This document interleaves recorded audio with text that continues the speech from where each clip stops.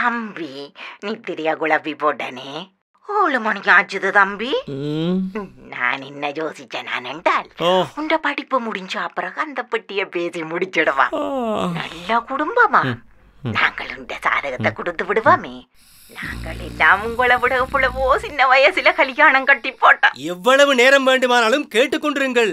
தற்போது ஹஜ் உள்வரும் அழைப்புகள் முற்றிலும் இலவசம். தம்பி அதென்ன சத்தம்?